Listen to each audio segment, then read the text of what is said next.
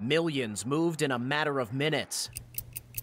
Documents obtained by Fox 25 through an open records request show purchase approvals involving the Swadley's Foggy Bottom Kitchen deal were approved by Lieutenant Governor Matt Pinnell within an hour at least a dozen times. That includes his first sign off on March 13, 2020. It was for more than $2 million for reimbursements for the restaurants. Documents show Pinnell signed off within 15 minutes of getting the invoice.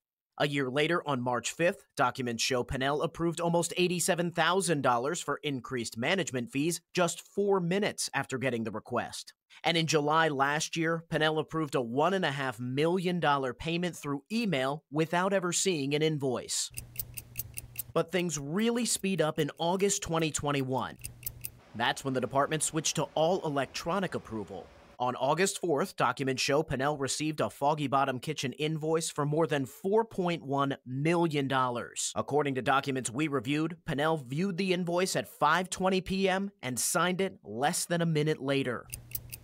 In all, documents show Pinnell approved at least $14.7 million in money from the tourism department to Swadley's Foggy Bottom Kitchens. We reached out to the Lieutenant Governor's office for comment. In a statement we received, a spokesperson says Pinnell does review the invoices he sent. It goes on to say, quote, at the time of the invoice in question, the Lieutenant Governor had full faith in the agency director and trusted he had properly vetted the information. And regarding the invoice Pinnell approved without seeing it, the statement says that money was, quote, part of that pre authorized amount to go toward renovating state park restaurants, which the Department of Tourism successfully did. Governor Stitt also confirmed to Fox 25 Pinnell is required to approve everything over a certain amount.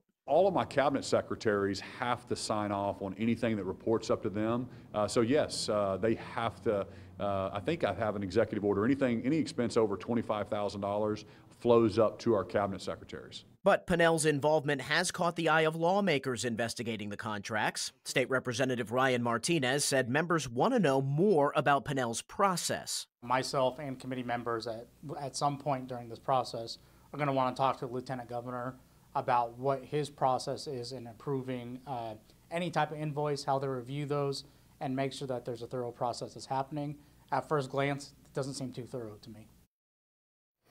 Now, on that special committee, Representative Martinez was asked if members would call Lieutenant Governor Pinnell as part of their investigation. He responded, quote, absolutely.